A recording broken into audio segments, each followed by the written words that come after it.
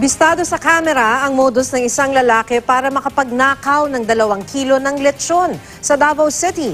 Ang suspect nagpanggap na customer ng tindahan. Makibalita tayo kay Sheila Vergara Rubio ng RTV1, Mindanao.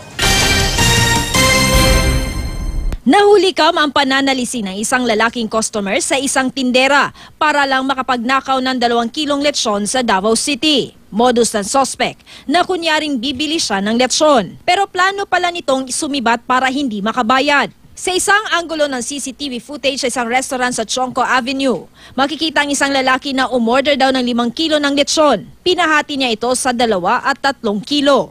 Ayon daw sa lalaki, gusto nitong mauna dahil gutom na raw ang kanyang boss. Sa pangalawang anggulo ng CCTV, makikita ang paglabas ng lalaki kasama ang isang tindera. Asa ang resibo?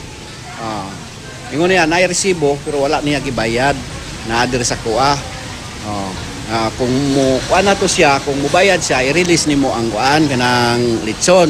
Dalawang kilo muna ang bitbit ng sospek na nagpasama pa sa isang tindera sa kalapit na hotel. May event daw umano ang lalaki roon at doon na raw babayaran ang lechon. Umakyat muna ang lalaki sa hotel. Nang bumaba ito, pinabalikan muna sa tindera at tatlo pang kilong lechon sa tindahan at babayaran daw ito pagbalik niya sa hotel. Pero pagbalik ng tindera, wala na ang sospek sa hotel. Bit-bit ang dalawang kilong lechon. Giingnan naman ako daan to among empleyado na wala pa ba na nabayaran na basta i-release dire sa lechon. Ingon po siya na dili ko ma-take sir uy kay ingnan man ako wala pa na paid.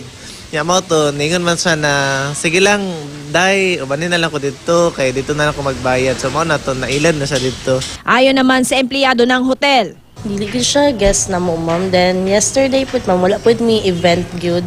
pero nakasulod siya. Yes, ma'am, nag-inquire siya for, ano, mag-showroom mo siya, mag-check siya og room if na available. Sa post ng may-ari ng tindahan sa Facebook, may nag-share ng CCTV footage sa isang mall sa Kinabawan City kung saan nakunan ang lalaking kamukha ng sospek.